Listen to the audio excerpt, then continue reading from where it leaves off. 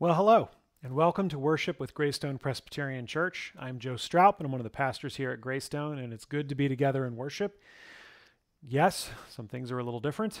I shaved off my goatee, just figured I'd get that out of the way.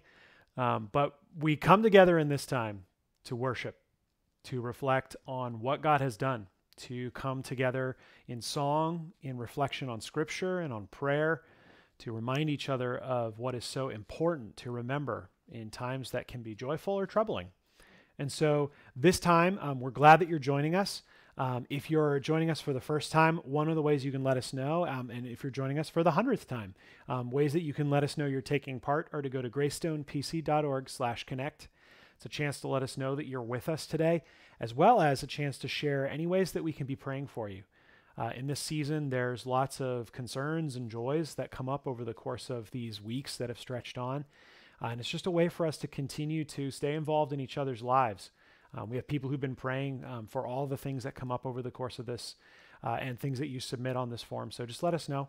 Um, we would love to continue to pray for you and just be able to stay connected that way. Um, this service, we come together and we pause as we begin to reflect on what is true of God and to recognize that He is the one who calls us to Him, who calls us to worship, to to praise him, to remember, and to take joy in him. And so we begin the service with a call to worship. And this one comes from the book of Zephaniah, who's an Old Testament prophet, chapter 3, in reflection as the people of Israel have been suffering, but looking to the powerful work of God. Uh, and so uh, this call to worship will have portions that are for the leader, so I'll read those. There'll be parts that say all, so go ahead and say those aloud wherever you are um, so that we can take part in this together and be reminded of the work that God is doing as we prepare to come before Him in worship. Fear not, O Zion, let not your hands grow weak. The Lord your God is in your midst, a mighty one who will save. Would you join me here? He will rejoice over you with gladness. He will quiet you by his love. He will exult over you with loud singing. I will gather those of you who mourn for the festival, so that you will no longer suffer reproach. Behold, at that time I will deal with all your oppressors, and I will save the lame and gather the outcast. And I will change their shame into praise and renown in all the earth.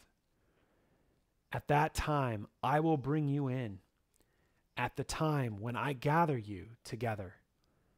For I will make you renowned and praised among all the peoples of the earth, when I restore your fortunes before your eyes, says the Lord. We come together to worship a God who is working and moving in our midst, one who we can find hope in and experience his love even in times where we may feel distanced from others. And so we come to Him to find that hope. And we come together today to enjoy and remember that truth as His people. So let's join our voices in song as we praise the Lord and remember His goodness in all things. Let's worship together.